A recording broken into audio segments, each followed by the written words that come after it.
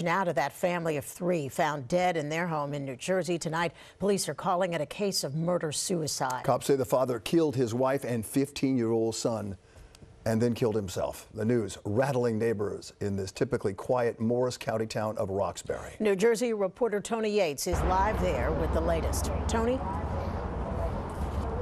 And Bill and Sandra, law enforcement officials tell us they have absolutely no record at all of having to make a domestic violence uh, check uh, at that house at any time. They say a family friend requested uh, a wellness check yesterday at the home.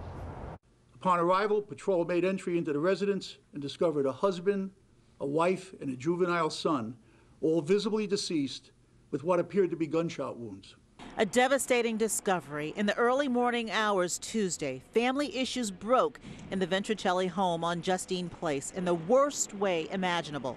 At this time, law enforcement believed that Peter Ventricelli shot and killed his wife Kelly and his son Anthony. The motive and the circumstances of these heinous acts are under investigation. Kelly Ventricelli worked at the preschool at Hillside Church in the Succasunna section of Roxbury. Peter Ventricelli, prosecutor Carroll says, was an independent contractor. Their one son, 15-year-old Anthony, was a sophomore at Roxbury High School, where he played football. Because of how he died, we're not showing his picture, but we spoke to a few of Anthony's broken-hearted school friends about who he was.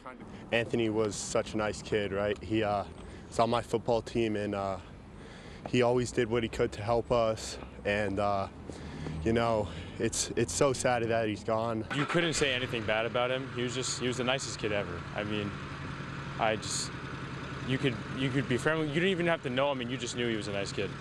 Students decided to wear their school colors, blue and gold, in honor of Anthony. Meanwhile, detectives were back at the home trying to piece together how and why Ventricelli turned the gun on his family and then took his own life.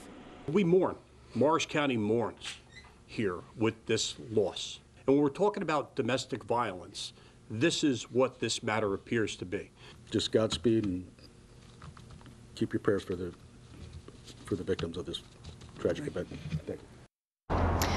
You can see from Mayor Riley that community is just shaken by this tragedy. Kelly Ventricelli was 58 years old. Peter Ventricelli was 57. Roxbury High School has called in extra counselors for all of its students. And also on Sunday evening at 7.30, St. Teresa's uh, Catholic Church on Main Street in Roxbury will hold a memorial service for this family.